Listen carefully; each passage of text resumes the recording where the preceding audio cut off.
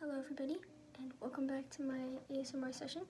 Today I'm going to be doing some um, satisfying harmonica playing. Um, this really calms people down in the brain so I just decided that I would play some harmonica today for you guys and uh, here we go.